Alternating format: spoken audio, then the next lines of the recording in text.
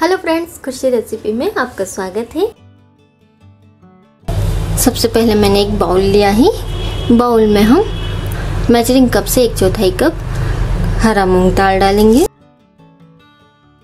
मैंने छिलके वाली दाल ली है। आप चाहें तो बिना छिलके वाली दाल का भी यूज़ कर सकते हैं।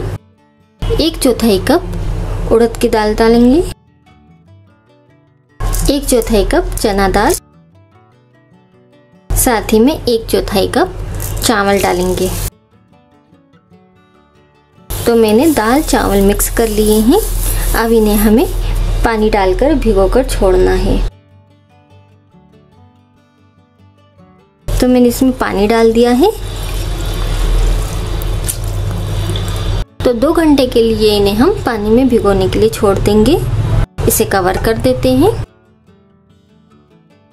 दो घंटे हो गए हैं। अब हम ढक्कन हटा लेंगे।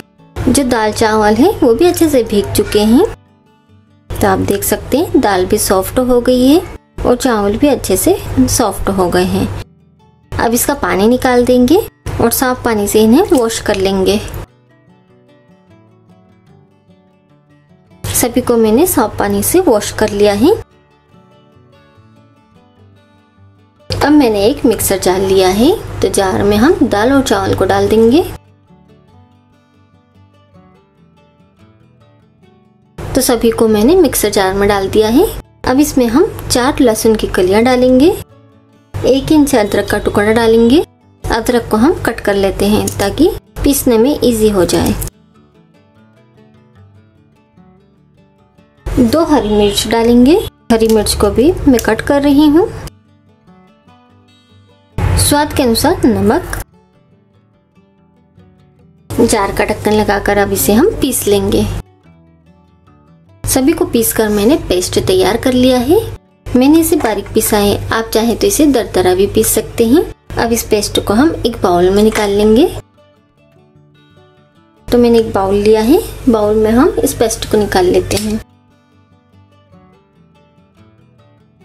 तो पूरे पेस्ट को मैंने बाउल में निकाल लिया है। अब इसमें हम डालेंगे आधा चम्मच जीरा।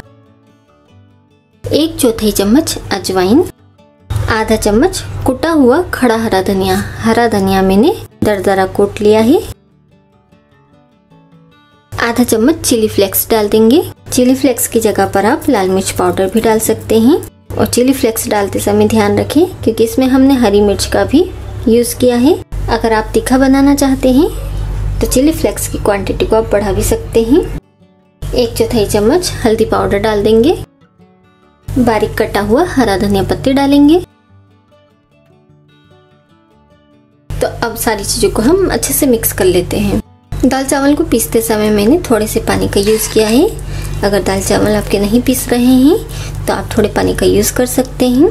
बस ध्यान रखें, जो बैटर है वो ज़्यादा पतला ना हो। तो अब सभी चीज़ों को हम अच्छे से मिक्स कर लेंगे। तो दाल चावल से बना ये नाश्ता एक बार ज़रूर बना कर देखें। बहुत ही टेस्ट लगता है। मूंग दाल के पकोड़े तो आपने खाए होंगे। लेकिन इस तरह से मिक्स दाल पकोड़े एक बार आप ज़रूर बना कर देखें।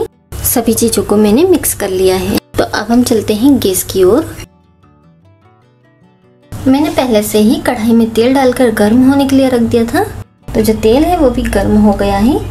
अब हमने जो बैटर तैयार किया है उससे हम कढ़ाई में पकोड़े डालेंगे। तो इस तरह से हम कढ़ाई में जितने पकोड़े आ जाएँगे, उतने डाल देंगे। गैस की फ्लेम को मीडियम टू लो करते हुए इसे हमें फ्राई कर लेना है। मूंग दाल या बेसन के पकोड़े खा खा कर आप बोर हो गए हैं तो इस तरह से ये पकोड़े ज़रूर बना कर देखें।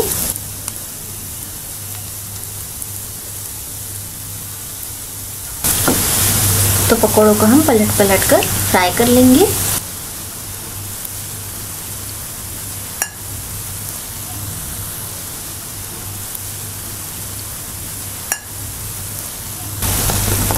तो आप देख सकते हैं जो सारे पकोड़े हैं, वो फ्राई हो चुके हैं।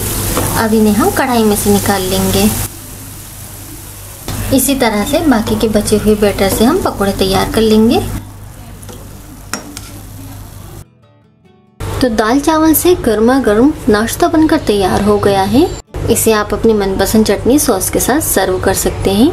तो फ्रेंड्स, इस तरह से मिक्स दाल पकोड़े ज़रूर बनाकर देखें। फ्रेंड्स, आपको ये रेसिपी पसंद आए तो वीडियो को लाइक ज़रूर करें चैनल को सब्सक्राइब करें, साथ ही बेल आइकन पर भी प्रेस करें ताकि जब भी कोई नई वीडियो डालूँ तो उसका नोटिफिकेशन आपको मिलता रहे। तो चलिए मिलते हैं एक और नई मज़ेदार रेसिपी के साथ। Thank you friends